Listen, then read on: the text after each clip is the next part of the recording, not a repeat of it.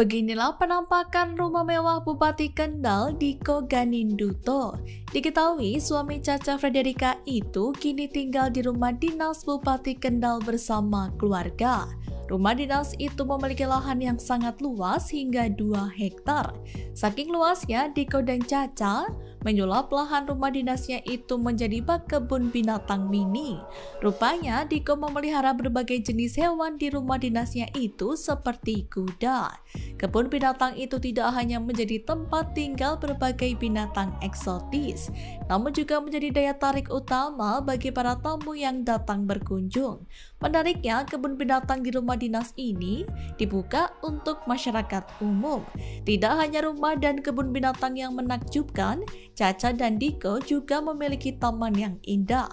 Rumah dinasnya ini telah berubah menjadi sebuah kebun binatang mini yang menarik minat banyak orang.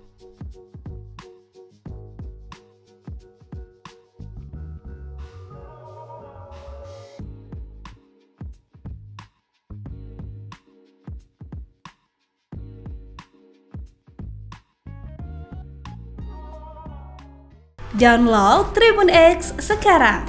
Menghadirkan lokal menjadi Indonesia.